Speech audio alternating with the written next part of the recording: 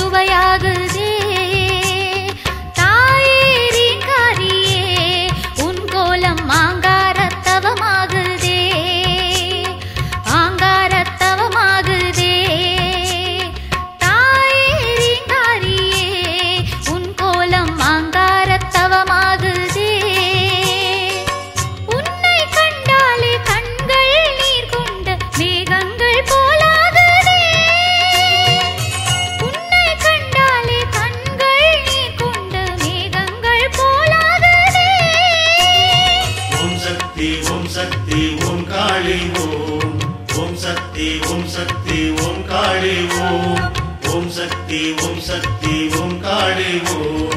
ஓம் சக்தி ஓம் சக்தி ஓம் காளி ஓம்.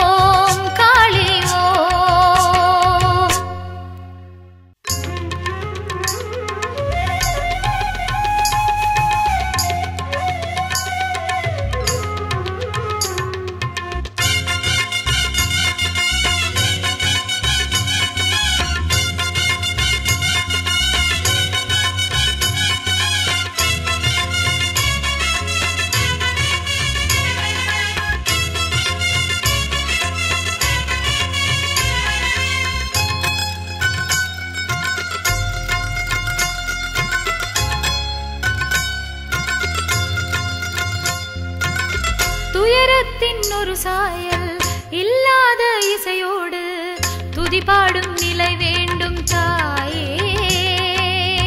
துயரத்தின் ஒரு சாயல் இல்லாத இசையோடு துதி பாடும்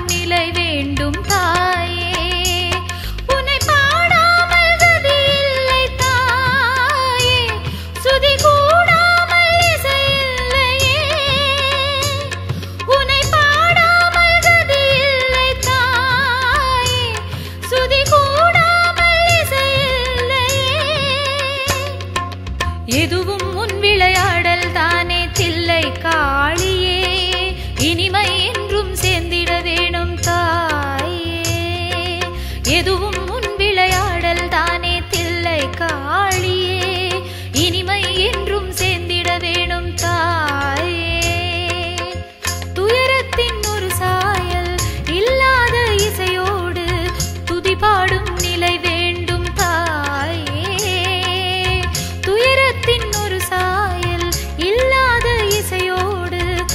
பாடும்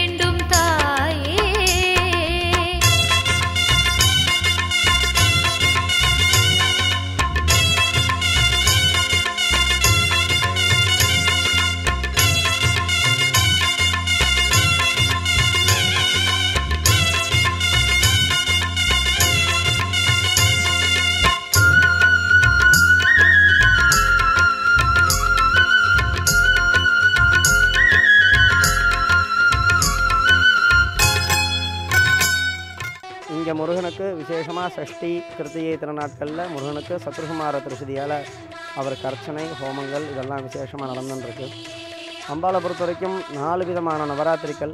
எல்லாருக்கும் தெரிஞ்சது சாரதா நவராத்திரி புரட்டாசி மாதத்தில் வருது.